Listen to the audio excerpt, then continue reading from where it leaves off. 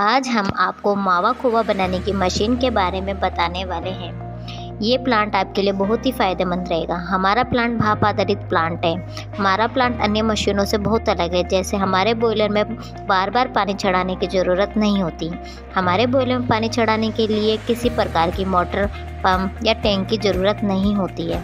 इसमें ईंधन और फ्यूल की बचत होती है। इसमें ईंधन के रूप में लकड़ी, कोयला, गोबर के उपले इत्यादि इस्तेमाल होते हैं।